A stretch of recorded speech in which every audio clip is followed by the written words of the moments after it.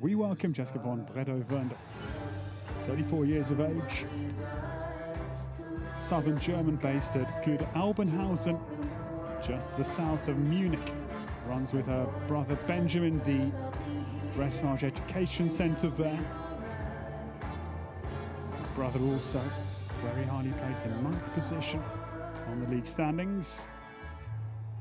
Was second yesterday in the Grand Prix, 79.630%. Approximately 2.2% behind Isabell Werth's winning total. Jessica has got an extraordinary record. World Games in Tryon. It's an awesome start from Jessica von Bredow Werndl. She's enjoying herself out there, which is great to see. She comes from a distinguished sporting family. Her father, Klaus, a German national sailing champion, and mother, Michaela, member of the German junior skiing team.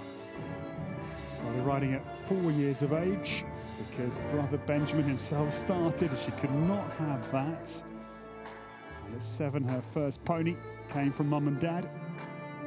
Transitioned from ponies to horses at 15 years of age.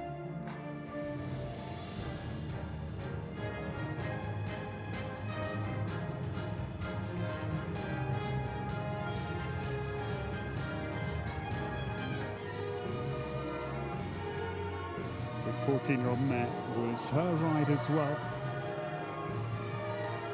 The Europeans last time in Rotterdam was outstanding for individual bronze and naturally team gold. This score is very, very strong.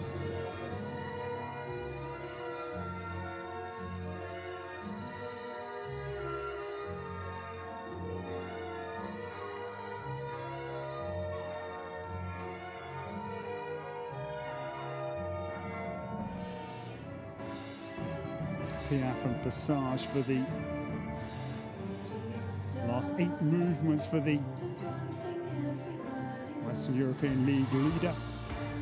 Jessica von Bredow Werndl is taking on Isabell Werth head on here to try and deny Isabell's successful defense of her title. That was very, very good. Jessica von Bredow Werndl, Deutschland, Germany.